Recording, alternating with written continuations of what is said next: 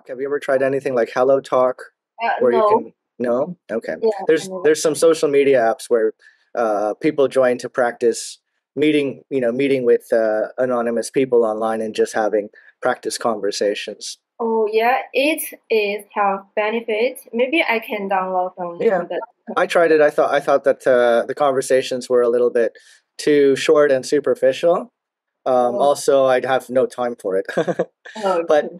To go back to um, yeah, so uh, when I first came to China, um, I was uh, I was placed into a Chinese vocational college in Sichuan, Chengdu, Sichuan. Oh, So oh, that was my introduction to China. I loved it. Um, Oh, I, I worked in Sichuan for about a year, um, but I found that the money was a little bit low. oh, So, I like that too. Yes. have you been to Sichuan before?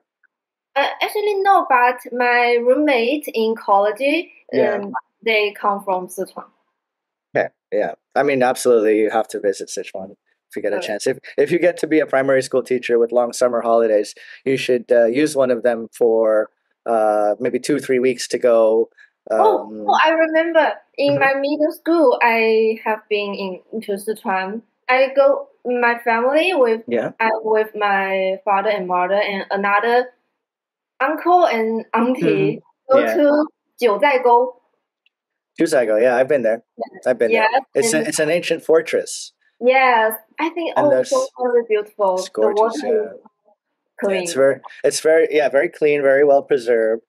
Um, so my impression of Sichuan was this is like an agricultural province, so Yeah. it's very rich in um, agricultural resources like vegetables and fruits and uh, herbal teas and medicines, and Yeah. so and also tourism. Like before all of this. Um, COVID craziness, I think that uh, Sichuan was a very popular destination, and the government was very, very friendly towards um, uh, uh, op- opening up um, parts of the country for foreign tourism. And they were inviting all kinds of uh, foreign English teachers to come and live in Sichuan, and they treated us very well. They they gave us um, like introductions to Chinese uh, writing and calligraphy, and a visit to the Sichuan Opera, and to see the pandas, and um, Oh, they just treated us very nicely. So because of the because of my first experience working in um, uh, working in Sichuan was so uh, positive, overwhelmingly positive, I, I guess I kind of just fell in love with the lifestyle from then. Um, but then again, the money was not uh, amazing because uh, the hours were quite low. So as a Oh. as a as a college teacher, maybe you have one class a day. Oh, one or two 40 minute classes a day and they don't really pay you for it. So um, i went on to move i went on to live in guangdong for two three years. And this was the like the real hard uh, training center work where i uh, taught in um, uh, children's centers uh, from you know kindergarten up until primary school age the long days of like 10 classes a day oh, um, yeah. but I moved up from there to teaching more academic uh, English and homework help to teenagers. And uh, then I went on to Russia, and uh, I lived in Russia for about a year and a half.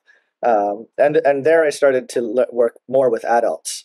So in in China, I think that the um, the teaching market is predominantly young children uh, Mm. up until the ages of uh, 12, right? From five all the way, maybe four all the way up until 12. Once the children hit middle school and high school, uh, they don't they don't take English that seriously. After they reach high school, they focus more on their other subjects. Um, Yeah. So the majority of the teaching for um, China is those ages. Um, whereas in Russia, uh, the majority of uh, uh, students that you teach are adults who are doing business with Europe or interested in traveling to Europe or wanting to take the IELTS for study in Europe. oh, So uh, yeah, that's what uh, that's where I got my training in, in teaching IELTS.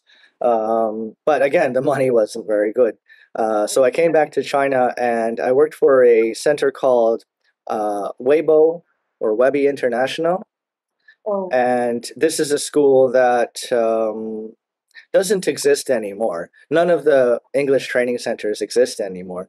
But this was one of China's largest uh, English franchises for adults again, teaching TOEFL, teaching business English, mm. and just teaching uh, like basic uh, intermediate level English. So if you watch the videos on my channel, the ones where I was live streaming, uh, those were intended for my teenage students and uh, university age students who didn't know a lot about these other academic subjects like history and art and oh. uh, science and philosophy and so um, i only had so much time to teach them in the center but i decided to open up sort of a free live streaming service for students to follow along and um, now i work in hangzhou and i work for an agency that uh, puts me in different places as need be. So I've been working in a middle school, I've been working in a kindergarten, I've been working in a primary school.